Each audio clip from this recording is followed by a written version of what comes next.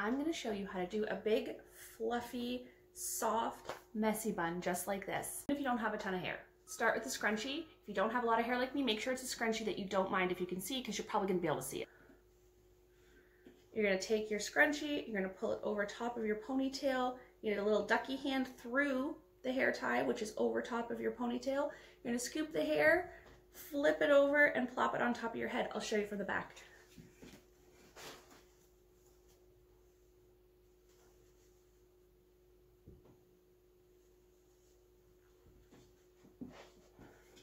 And then you're just gonna pull your hair tied down over top and you're left with this funny little Miss Trunchbull bun on top of your head.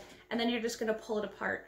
Manipulating your hair is the important part here and it can be the most frustrating part for people because if you're not used to manipulating your hair, then it can be a challenge. But like with everything, practice helps you to build new skills.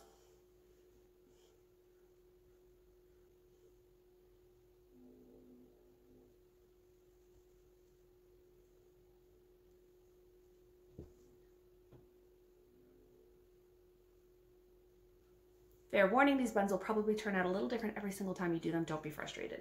Then to make it fluffy, you're going to pull, pull, pull at your base, just pulling everything forward slightly, not too far, but just enough to give you that extra fluffy look.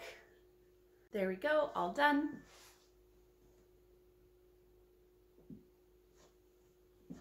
I hope that helps and there's an even more in-depth tutorial on my YouTube channel.